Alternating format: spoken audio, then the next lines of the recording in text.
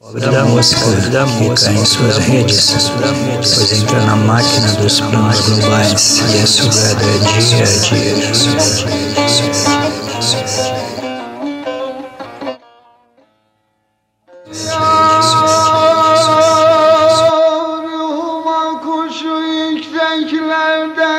Pensa presa nas redes, de modo que não sente as picadas sutis que eles injetam um desejo, em que os lagartos criarão asas e voarão, não mais como moscas, mas como dragões.